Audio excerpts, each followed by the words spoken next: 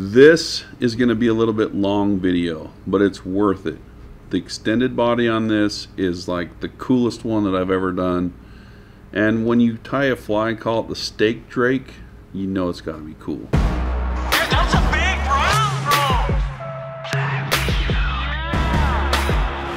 Okay, this is a fly that I used to tie quite a bit back in the day, but I used pre-made extended bodies. Um, and we've actually had these extended body tools in the shop for quite a while.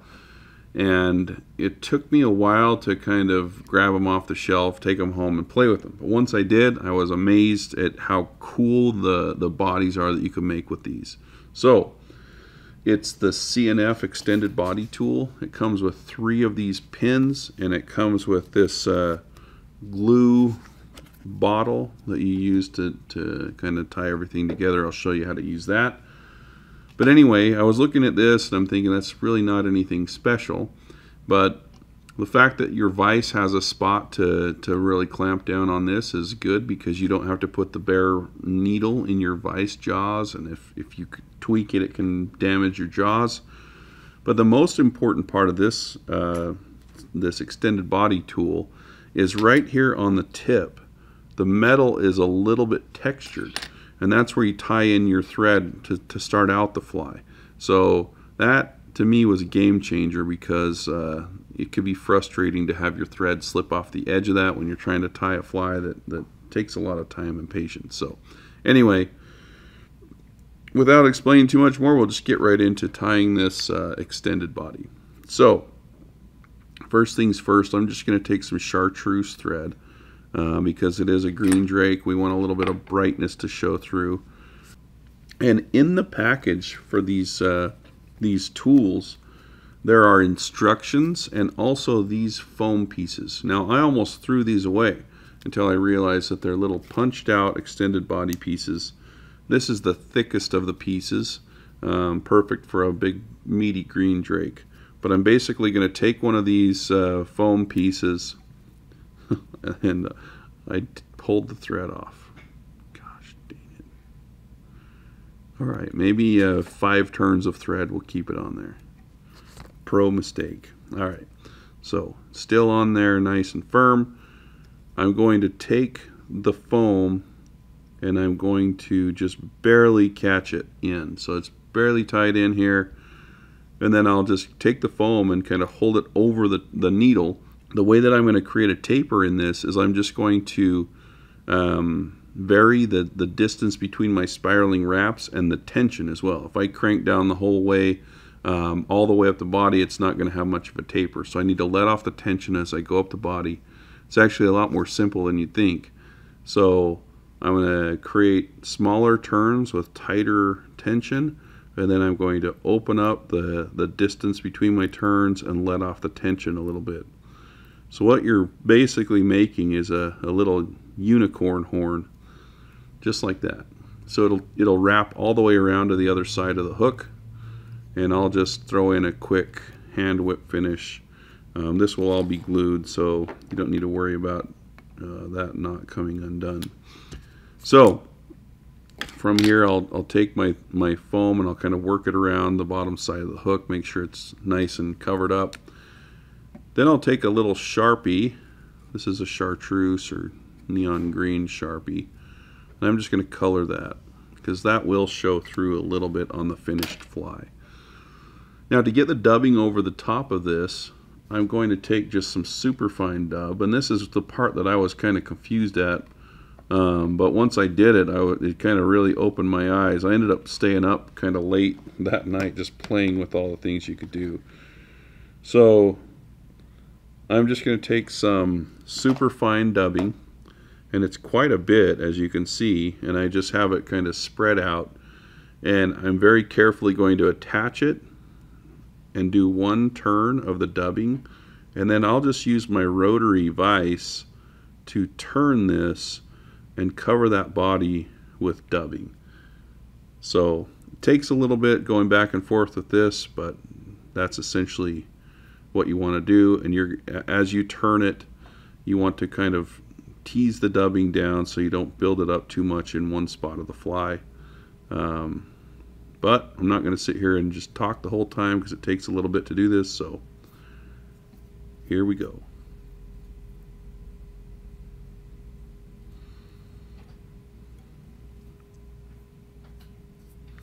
Okay, so once I have a fairly even layer of dubbing on this body, I'll just take my fingers and I'll rotate it and really try to drive it into those uh, segments. But as you can see, you can still see the bumps through the through the dubbing a little bit. And now we're going to tie in our tails. So I'm going to reattach my thread right here at the very end of the fly.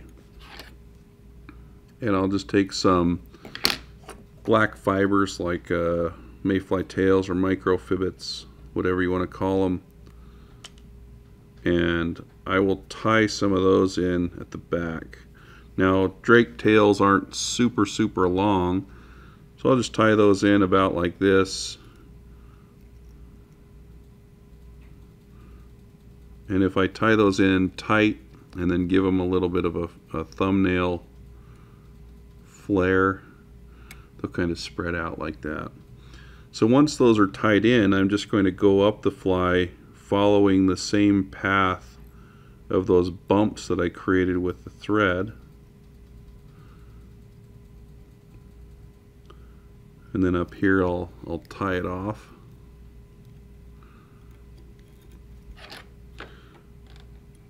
So as you can see we have a pretty killer looking mayfly body. It's all foam underneath uh, the dubbing's on obviously on the outside but it's uh, it's gonna float super super well and, and give a, a really realistic profile. Now to keep this all together the next part is take this glue and you just soak the whole body with glue.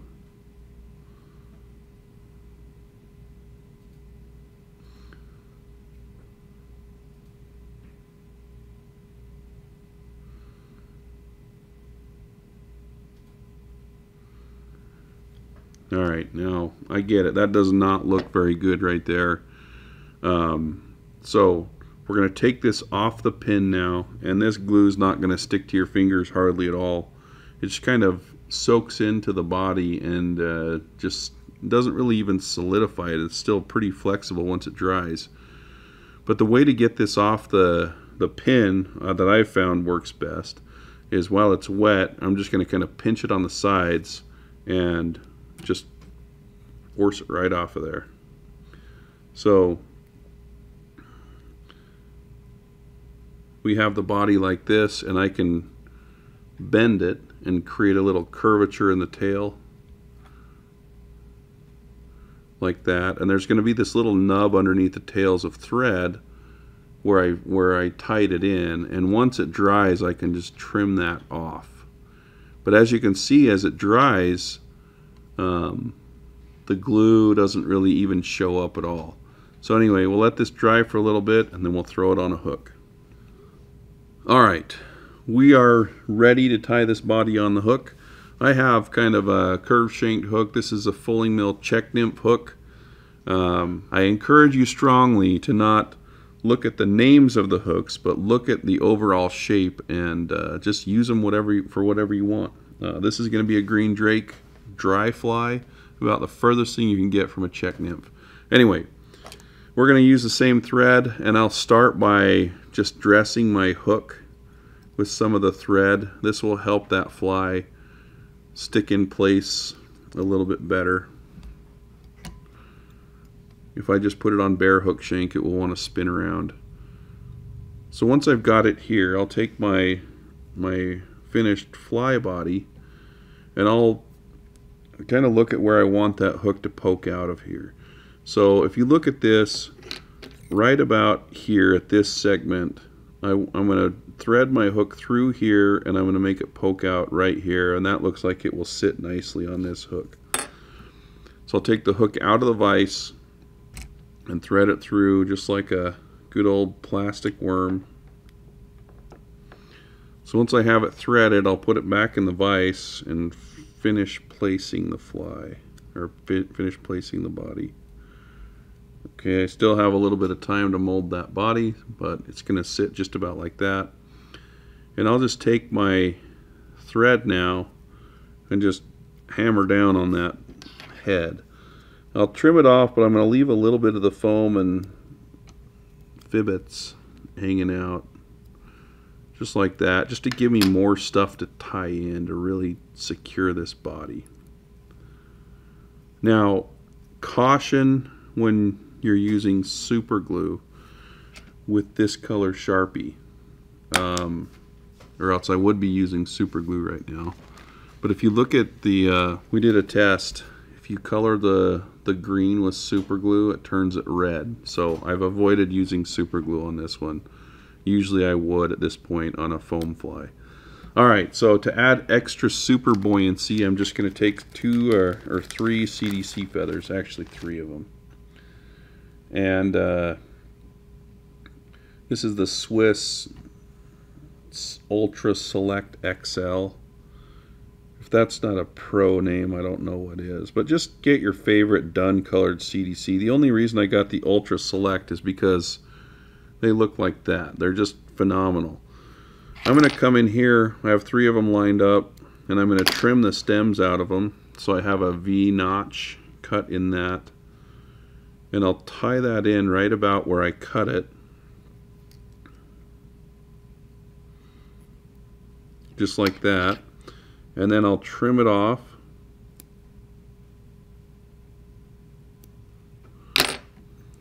Tighten that down a little bit more. And then I still have hold of these three feathers and I'm going to trim the stems out again and I've, I've got another nice V notch. And I'll tie in another clump of CDC right in front of the the second one. So that's maximum CDC as the wing on this. Keep in mind it is a mayfly so it's got a kind of a back facing wing. And as you can see I have a pretty big step off here. So I've got my wing I've got a bunch of bulk and then it just goes down to pretty much bare hook. And I did that on purpose because we're going to tie a bullet head on this. Before I do that though I'm going to angle my hook upward a little bit and I'm going to cover up my thread wraps with dubbing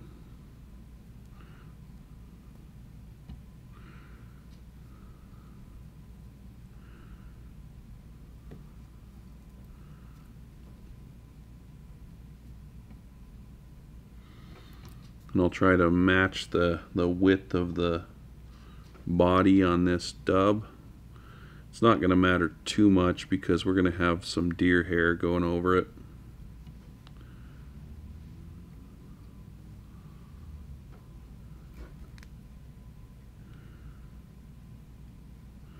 So we'll be just like that.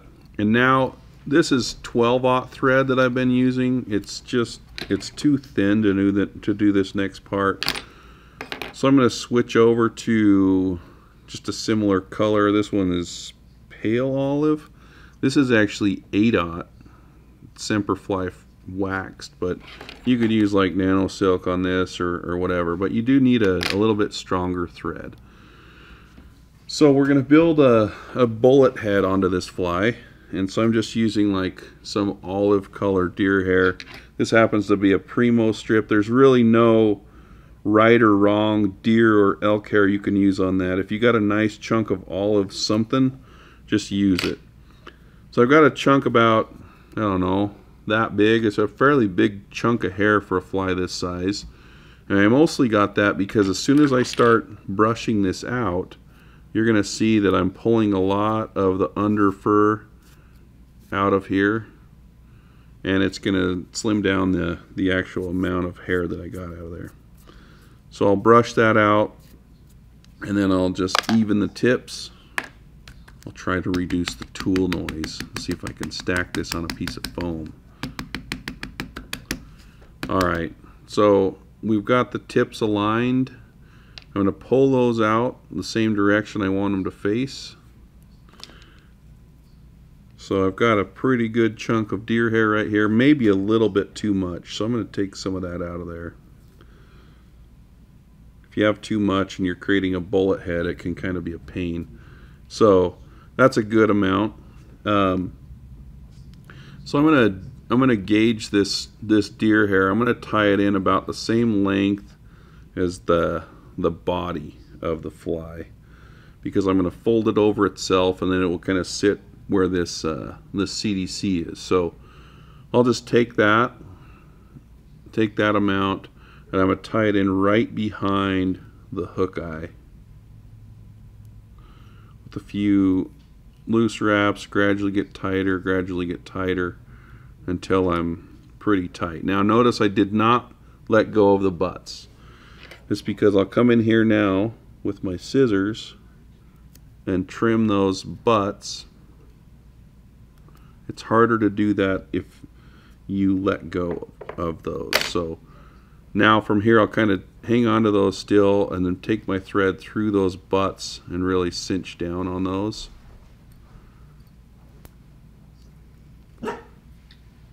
Squatch, we're filming right now. My dog's being a savage. Okay, now you can see that I, I built this too far forward. Not a big deal because I can just take that head and pack it backward and that will expose that eye a little bit more. So we're good. Plenty of line tie-in here. And there are all kinds of tools you can use for bullet heads, but I find that just my normal old fingers work well. So I'm going to take my thread and advance it back to where I want that bullet head to end. And I'll just push that back. I'll create the bullet head. I'm all fingers right now but if I just wrap my thread around it and then cinch it down a little bit each turn, you have a nice little bulbous head on that drake.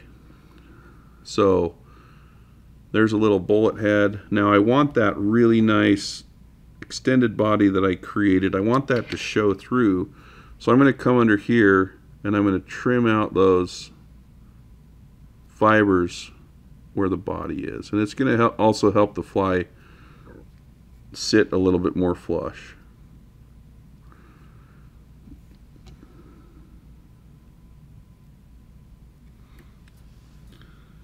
All right, so there's our drake so far. Drake do have very pronounced legs, so we're going to use some of these uh, Grizzly Micro legs in olive for this one. And I'm just going to take a long piece. And I'll tie one leg on one side loop it over and do a leg on the other side. Now you can take that now and adjust it however you want but about like that's good now on this on this part of the fly, I'm not going to trim that one yet. You can either take some foam or a little piece of yarn to make a little indicator. Um, you'd be surprised at how hard these are to see sometimes.